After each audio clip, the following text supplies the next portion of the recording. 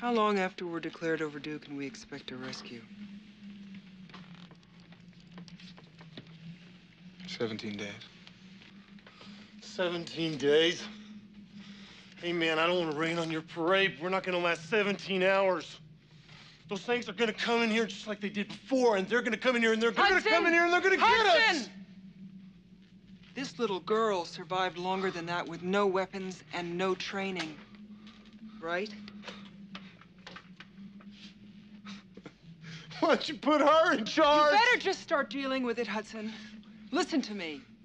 Hudson, just deal with it because we need you and I'm sick of your bullshit.